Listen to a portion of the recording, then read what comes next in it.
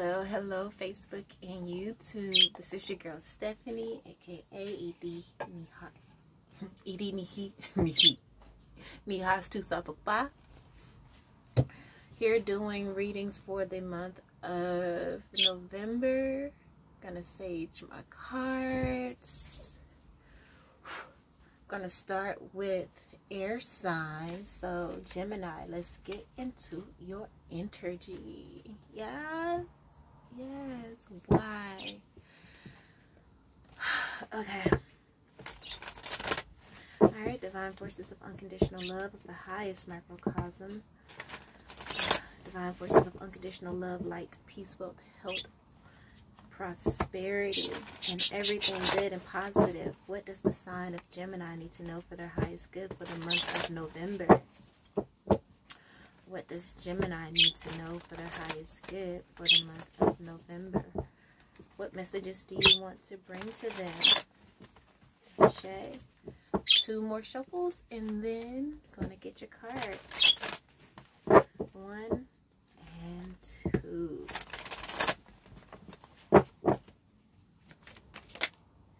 Alright, so we have a nine of wands. So do you have your defenses up against something?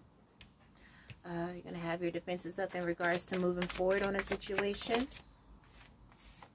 On a moving forward in regards to a commitment. Um, something that you've really had your mind set on. But um, you have to realize that you can make this decision. You know, because the, the relationship is toxic and the person is manipulative. Could be a fire sign. Um, could be a Cancer. Could be a Taurus. I'm seeing those energies here. Uh, could be a Capricorn. Because we have the double card here. A lot of major arcana cards as well. Um, out of six cards we have four major arcana out here. So this is a, a long-term relationship that you've been dealing with.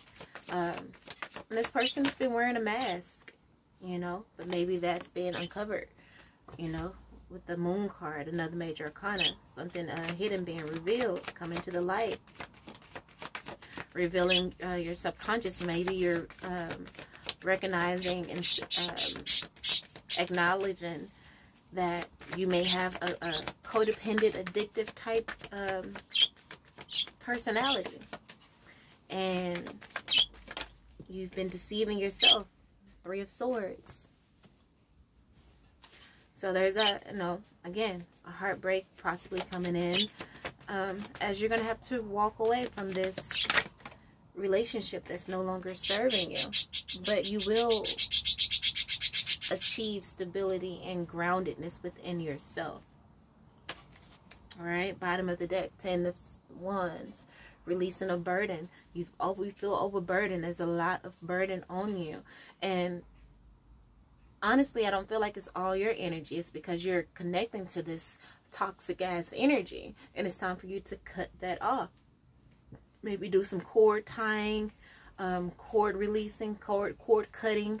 Um, rituals. So let's get clarity, clarif clarifiers for all the main energy here. Uh, give me clarifiers for the Nine of Wands, please, Spirit. Clarify, clarify the Nine of Wands.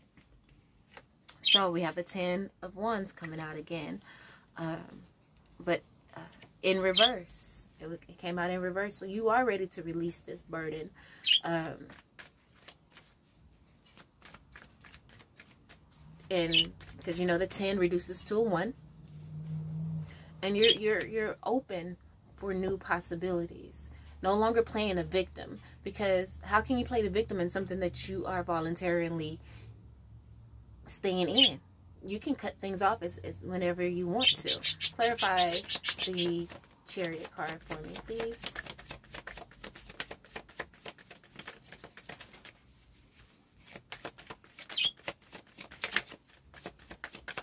Clarify the chariot the Two of Wands. Ascending to the next level, uh, coming out of a stagnant energy, and moving on. So looks as though that you are ready to move on. And here go the Ace of Wands coming out along with the Queen of Wands. So that Ace of Wands is that new opportunity coming in. Queen of Wands is that energy of taking matters into your own hands. And so you are awakening to the toxicity of this commitment, of this relationship. And you're realizing here with the Empress, let's get clarity for the Empress, that you are, you know, fine on your own. You are, you will be more abundant alone, on your own. Um, you know, searching out new opportunities, um, exploring new, i you know, old, possibly old ideas that you had, have had, you know, um, healing that inner child. Give me more clarity on the Empress page of Wands. Like so, you, you're new. You're you're you're newly stepping into your uh, Empress energy.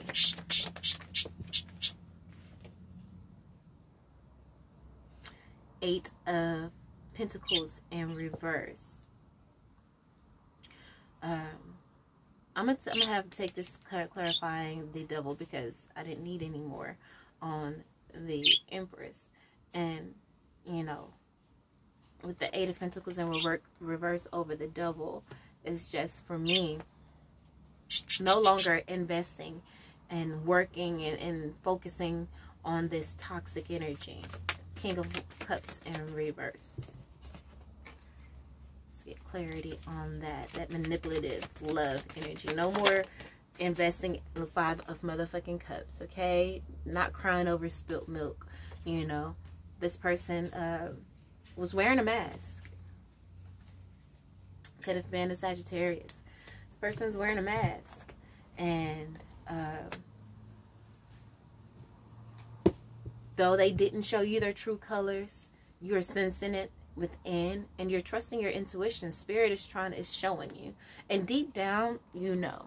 Deep down, you know that this is a toxic person, toxic energy, a controlling person. Um, rigid person. This person could also could possibly even be abusive, you know, or just very controlling. And that's not the type of energy you want to be with Gemini. You guys are air. You like to be free. You don't like, you know, to be controlled or, you know, manipulated or not put first. You don't want to be in a relationship with someone that's a dictator. You know?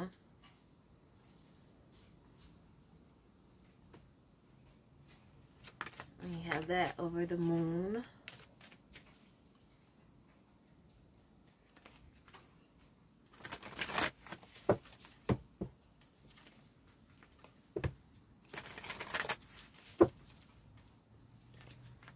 just saw the world card with the uh, King of Wands. Freeing yourself from this fire, possibly a fire sign, you know, because I see the Ten of Swords on the bottom of the deck. Let's get clarity on the Three of Swords. It's painful, yes, but you can do this. With you, oh, you know, happiness is coming as you uh, begin to see things from a different perspective. Start to uh, put your focus on other things, you know. Give me clarity on the Four of Wands. What will bring Gemini stability. This Four of Wands, love, commitment, twin flame energy. And this could be you coming um, into your full power, your divine masculine, divine feminine energy coming together for what? Self-love. Look at that Ace of Cups coming out to clarify the Four of Wands. Your happiness comes when you start to appreciate yourself, not allowing other people to take advantage of you or to breadcrumb you or, you know, anything of the sorts healing your inner child, you know. And knowing that you deserve more, know that you deserve better. Strength card, you know, finding the strength, overcoming that that ego, overcoming the ego of other people. Perhaps. All right, so let's get um have enough time. let's get uh, some crystal cards. See if we can add any more to this reading. Maybe provide more clarity or maybe some advice. Spirit, what crystal cards could be helpful for our beautiful Geminis for the month of November? I'm going to shuffle uh, two more times. Knock cut. Pull from the top. One. And do one more. Two. And three. Beautiful.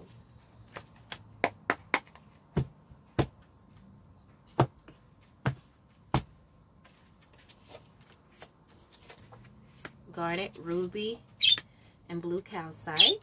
Bottom of the deck, deck we have agate. So the agate crystal would be the overall energy, um, matching along with the strength card. Um, it says, what is it? Agate, a bandit chalcedony comes in many forms. Elegant blue lace agate, an iridescent fire agate or two. Each gate has its own unique vibe, but they all promote the energy of wherever you are, be there. Who needs it? Work-life balance. Strugglers, where to put it, wherever you need more stability in your life.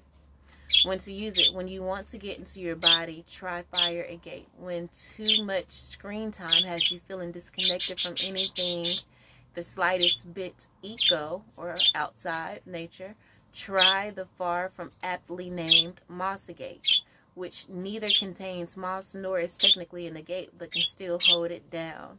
Find your solid ground. So this is what uh, the overall energy is wanting, spirit is wanting you to find your solid ground within yourself, you know, to not be, um, you know, to find that balance, that work-life balance, that, um, and this could be like relationship life balance, you know, you focusing on this person and this toxic, you know, relationship that you really had your heart set on. It could, or it could be work. This could be, you know, speaking about speaking about a work situation that you need to release. That's uh, toxic in the month of November. So the first crystal out in regards for the reading is the garnet card. It says garnets are deep pomegranate to fiery red stones that have lit wrists for centuries. That have lit wrists for centuries. Garnets come in many forms like almandine, grossular, spessartine, to name three. Gorgeous garnets gush with positive vibes and are the perfect sparkly accessories to an I got this attitude. Exactly. Who needs it? Writers who aren't writing, painters who aren't paintings, sexual beings who aren't sexing. So, exactly. If you're moving and walking away from a relationship or, you know, old toxic job, this is something that you could possibly use. It says where to put it. Any place you want to make something, um, be it art, love, or dollar bills, y'all. Dollar, dollar bills, y'all. uh, when to use it. When you feel like the real you is getting lost in the sometimes shallow, often materialistic priorities of a likes driven culture. So this person that you like, you know, and this likes driven culture can be toxic and it's time for you to get into your depth is what it says get into your depth go deeper um, next card we have ruby. Hot pink to cabernet red. Ruby is a precious gemstone that has bedazzled royalty for centuries. So here we go again with this bedazzling wrist. Spirit wants to um, adorn you with jewels and great things and just really spoil you, you know, but you have to release, you know, these people who are breadcrumbing you. How can you feel deserving of more and you keep ex ex uh, um, accepting less from people? You need to raise your standards. You know, find your solid ground. Know that you are the empress, right? Remember, we had the empress in the page of wands. Like you are newly coming into your empress energy. So it's time for you to claim that shit. Own it, you know. Ruby is a fearless guide and protector, pointing you in the direction of rich of a rich, passionate life. Exactly. Who needs it? Anyone with something worth fighting for? And you most definitely have you are worth fighting for right? And this person isn't fighting for you right? Or or not. I mean this is for those people. If the if it fits it fits. You know this is a general read. So um take what fly, uh, applies and let the rest fly right? You're worth fighting for. Where to put it uh, in a ring on the hand you throw punches with or in the boudoir. When to use it when you want to show the world you're both beautiful and ferocious. When your sex life needs a heaping teaspoon of spice. When the doldrums have you down reach for ruby and some really red lipstick and come out swinging. Feed your fires. Last but not least blue calcite all right what it is dreamy calming blue calcite is the fresh from the meditation retreat vision board making hippie of the calcite family.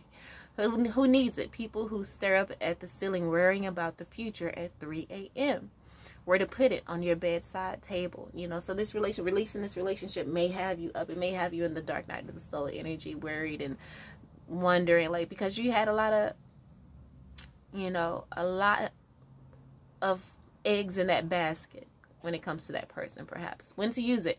When stress is the enemy, freaking out is not a prerequisite for accomplishment.